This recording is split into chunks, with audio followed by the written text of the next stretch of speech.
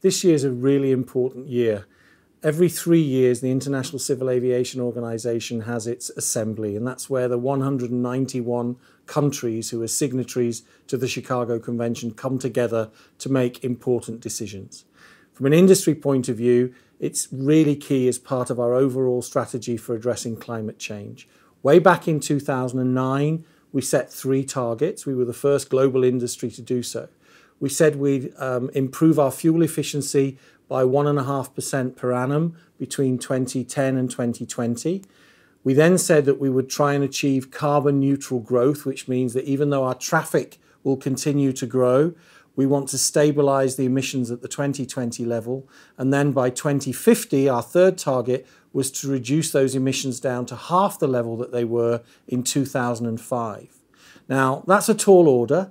And the way that we're going about doing that in the industry is by following what we call a four pillar strategy. We're a technology driven industry, so it's developing and employing new technologies, and we're seeing a whole raft of new types of aircraft coming into the fleet right now.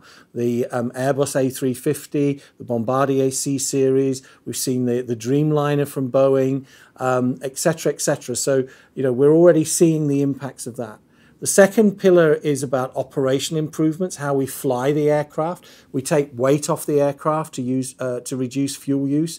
We fly more intelligently to reduce the distance and the time the aircraft is in the air. And we try and get the aircraft up into cruising altitude and back down again as efficiently as possible because that maximizes the efficiency of the use of the aircraft.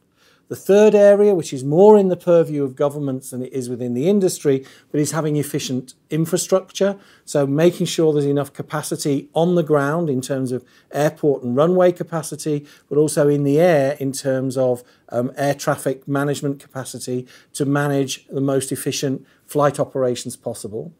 And then the final piece of the puzzle, and this is the bit about the global market based measure, is understanding that we're not going to be able to deliver carbon neutral growth on our own.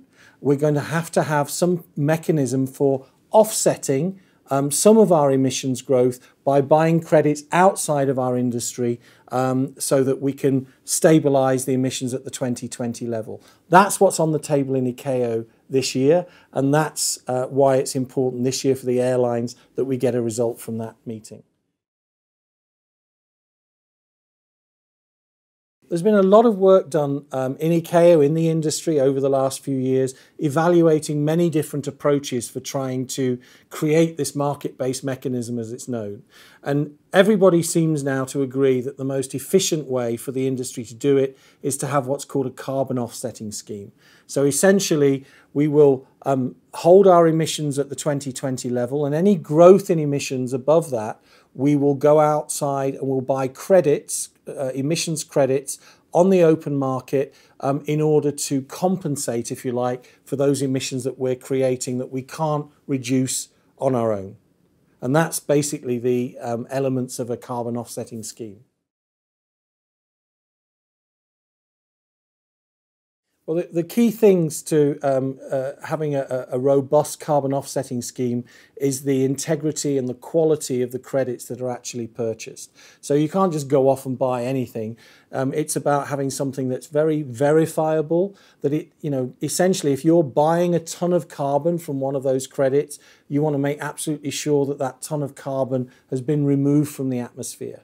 So, for example, the most well-known mechanisms are, are, what's called the, the Clean Development Mechanism, which is a United Nations um, uh, monitored and managed um, approach. So, for example, you could have a project in uh, a developing country uh, which avoids uh, a certain number of tons of CO2 by taking uh, a more sustainable ecological approach. For example, um, avoiding building um, a massive hydroelectric dam and instead putting a turbine in the river uh, that avoids all the concrete and the construction and everything else.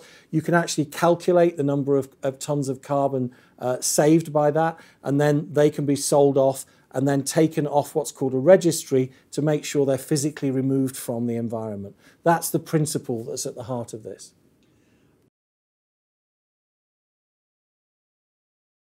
It's a four pillar strategy. So while we're currently focused on trying to get this market based measure, that doesn't mean that all the work on the other areas has stopped. Far from it. And I think most of the exciting developments are actually in the technology area. I mentioned the fleet changes uh, with all the new aircraft coming onto the fleet.